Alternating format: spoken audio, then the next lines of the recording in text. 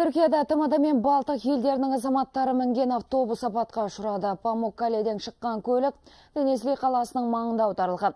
Анталияға бет алған автобуста тізгіндеген жүргізушінің жолда жаңбыр суынан тайғанап, рөлді басқара алмай қалғаны мәлім болды.